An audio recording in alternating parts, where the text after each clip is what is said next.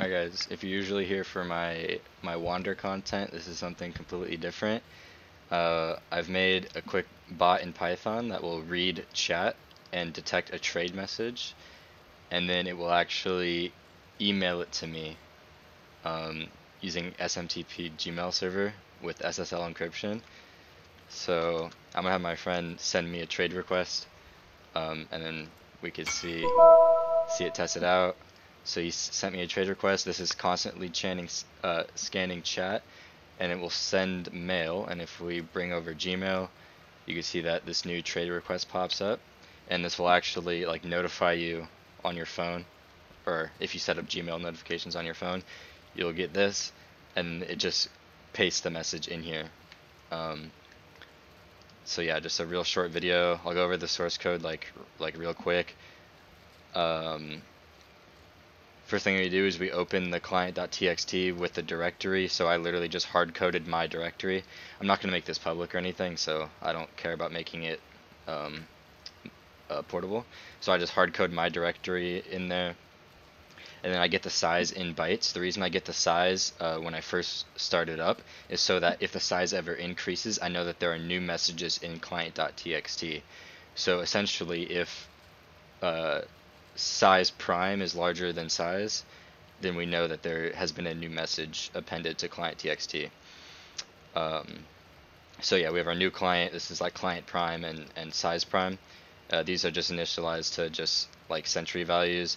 And then this is our main loop here. We're going to sleep at a frequency. I think I have it at five seconds. You can probably put this up to like a minute. So it only uh, it stores a, a, buffer of a minute long uh, trade requests, and then we'll email you in batches. Um, if you get a lot of trade requests in one minute, then that might be what you want to do. Um, and then we're instantiating new client to open client. So on the first the first iteration, uh, client and client prime will be the same, but each iteration of the loop, um, it will be the most up-to-date client, whereas this one is like a snapshotted version of when we first uh, started running the scripts. And then the size, again, we're getting the size in bytes of the file at the directory, and this is updated every game tick as well, or every time there's a new message in chat. Um, and then we're printing the new size for debugging purposes. And then if size prime is larger than size, then we our difference in bytes uh, is new size minus size. The reason we have we don't have to do absolute value here, even though we're talking with like dimensions, is that we're already checking that size prime is larger than size. And then we're using Python's um, .seek, which sets an offset byte value. So, and then the second argument, you can do 0, 1, or 2, 2 being seeking from the end. So we're basically getting the last byte at the end, and then we're seeking at our tell, which is basically getting that offset from where we just set our seek to, minus the difference in bytes. So essentially what this is doing, going to the end of the file, and then backtracking the difference. So each snapshotted client.txt, say there's five new messages, it will go back that many messages and start reading from there. This is more efficient, so we don't have to read every line of client.txt every time or every five seconds or whatever our frequency is. All we have to read is the difference between the two, which will be minimal, like very, very minimal compared to the actual size. And then new, this is like raw text data. We're going to read it line by line. Um, it's also important to note that PoE uses UTF-8 encoding.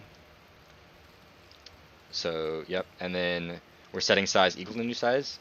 So after we've backtracked our seek, we can now set our size to the new size or size prime. And then we wrote a function called parse new, which is going to parse our raw text data.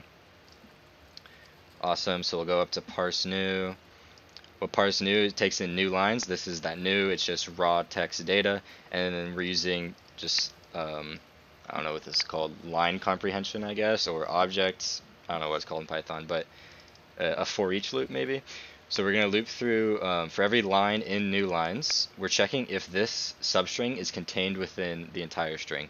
So hi I would is is in every trade message for the most part. Hi I would. So we're checking if that exists because we don't want just any PM. Uh, if you wanted every PM to email you, then you would just remove this part, and everything with the at from in it, which is a, a whisper, would be emailed to you. But I added this in just as like a, a check that it's from a trade site, right?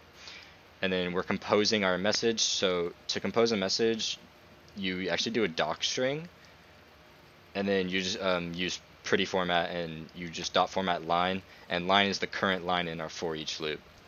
So like I said, we're going back, say we have 10 new lines from our snapshotted version to our current version. We're reading each of those 10 lines. Are they a trade request and are they a, a whisper? If so, we're going to format it like this with the current line that it's on, and then we're going to send, wrote a send mail function to send it. Um, and this is where I had to like, I'm not like very good at this, so maybe I won't explain it the best, but send mail, we use SMTP with SSL encryption, and Gmail, if you go, you have to make a new Gmail account. If you set your settings to be um, allow like third-party unauthentic unauthenticated access, something like that, then it will actually uh, it will actually work. If you just try to use any email, it will, it will tell you there's an OAuth error. Um, so yeah, just setting up the server. You could do localhost. I was using localhost just to test because this takes about 15 seconds just to send the email. So you wouldn't want to debug like this. Um, and then they have a built-in just send mail function, sender, receiver, and message. This has to be pretty formatted as a doc string and the sender and receiver are just plain text. And then I use the, this is actually a Gmail feature. You can put a plus after your main thing and it will just change the, the inbox, but it will be the same, the same uh, email. So you don't have to make two emails, you can just make one and just set a different inbox tag. And then it just prints a debug that it sent mail. Um, you also have to use 465 for SSL encryption. And then that's that's really it if there's like programmer gods that are, are watching, uh, please don't harass me. I didn't try too hard, but like at the same time, this isn't like this isn't really my my main thing that I do, like server stuff. So, yeah, guys, have a good one.